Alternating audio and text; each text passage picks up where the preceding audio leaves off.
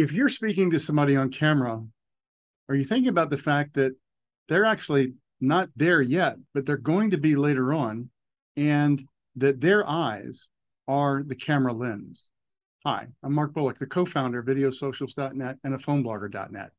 And it took me a while to get this. And that is, is that to understand that if I have some notes or I have some bullet points that I want to follow, or heaven forbid, I actually have a script that I'm trying to follow, it needs to be so close to the camera that you, the viewer, can't really tell that I'm not looking you in the eye. Now, I might look away for a second to think about something, or I might look down at notes, or I might reference some notes if I'm giving some detailed or technical information. And then, you know, I'll let you see that I'm reading from a pad, or I'll say, I need to look away for a second, or I, I need to reference something so that you'll have a, an understanding that I'm not being rude to you, the viewer.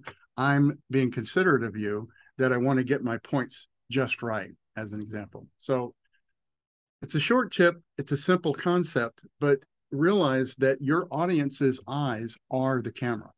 So the more that you can engage with the camera and realize that that, and that's literally i'm in a video socials meeting so i'm recording with a number of other people on the screen that are in the meeting with me that all just finished recording their videos. And so my tendency is to want to look at their smiling faces and get their feedback but i have to do that out of my peripheral vision because they're down here whereas you're right here in the camera?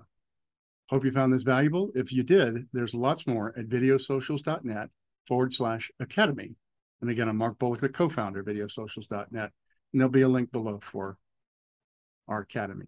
Have a great day.